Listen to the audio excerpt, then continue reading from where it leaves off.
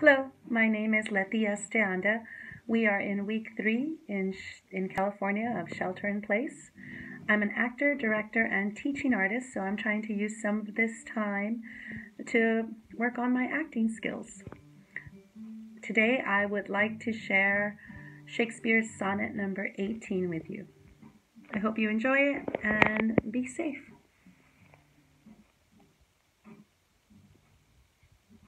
Shall I compare thee to a summer's day? Thou art more lovely and more temperate. Rough winds do shake the darling buds of May, and summer's lease hath all too short a day.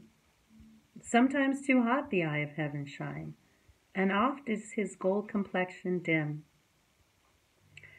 And every fair from fair sometimes declines, by chance or nature's changing course untrimmed. But thy eternal summer shall not fade, nor lose possession of that fair thou owest.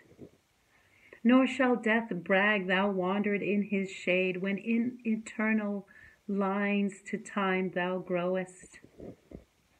So long as men can breathe and eyes can see, so long lives this, and this gives life to thee.